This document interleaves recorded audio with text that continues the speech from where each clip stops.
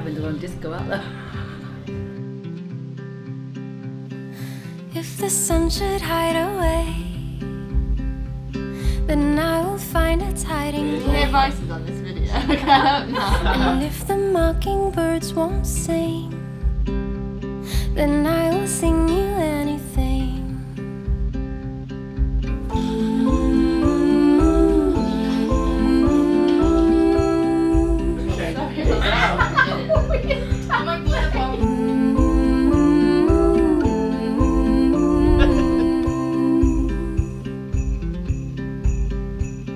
You'll all know that it's traditional for the best man speech to take the mickey after the groom a little.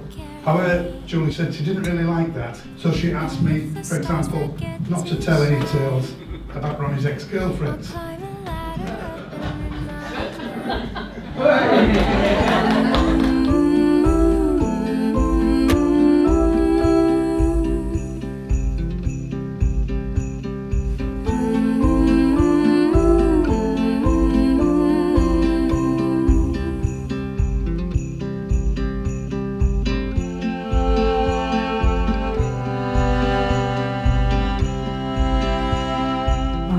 and Julie, you have both made the declarations which are prescribed by law.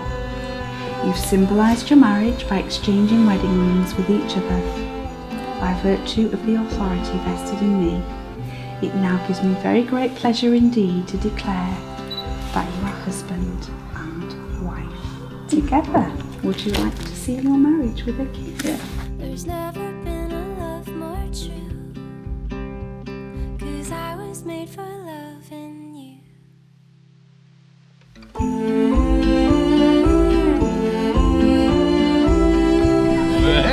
Mr. and Mrs. Gardner. Ronnie is genuinely a fantastic guy. But the main thing, as far as I'm concerned, is that he makes Julie happy. And that's good enough for me. He is kind, generous, he is warm-hearted, and I think they make a great couple. And I was thrilled when Julie rang me to say that Ronnie had asked her to marry him. Yeah, she's a lovely person.